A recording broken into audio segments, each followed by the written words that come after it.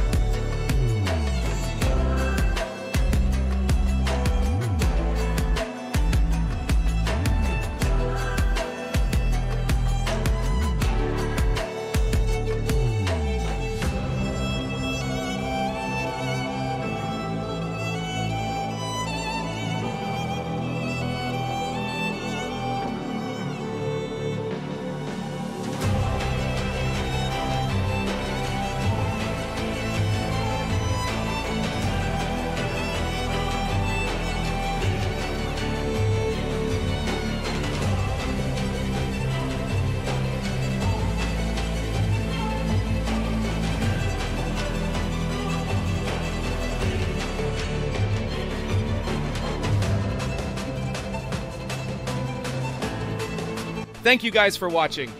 Whose power levels do you want to see next? Comment down below, and I'll see you guys next time. Take care.